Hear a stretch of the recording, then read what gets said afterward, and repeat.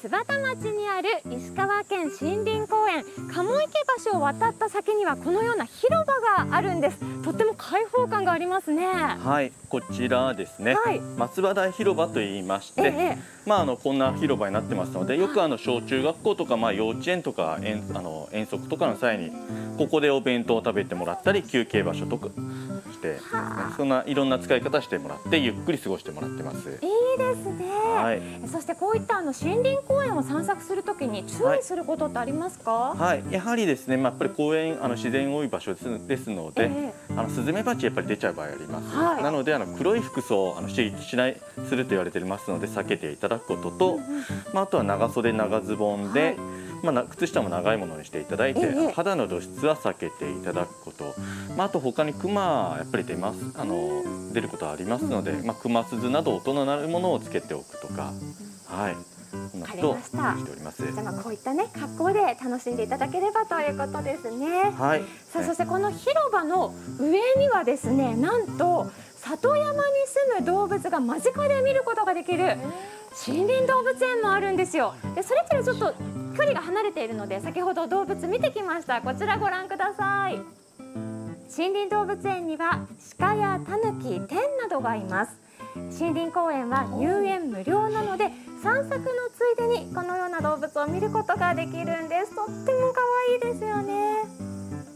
そして野村さんもお気に入りだというとっておきの場所があるんですよね。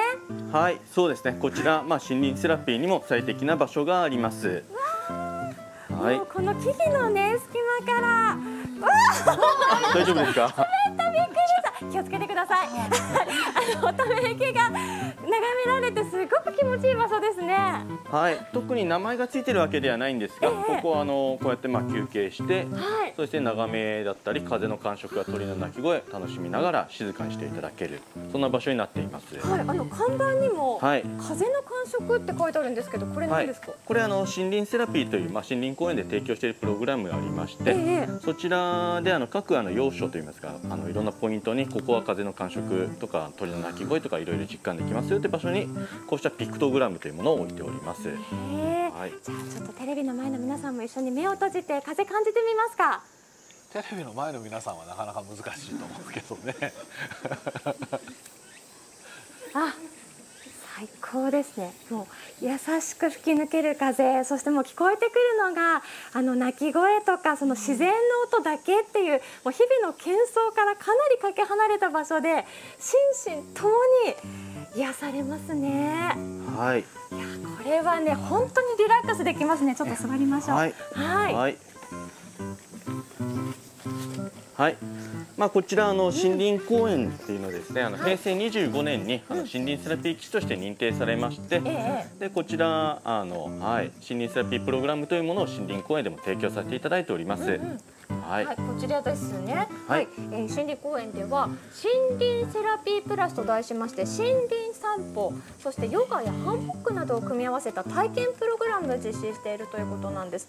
予約制で1人2000円で受けられます。詳しくは森林公園インフォメーションセンターにお問い合わせください。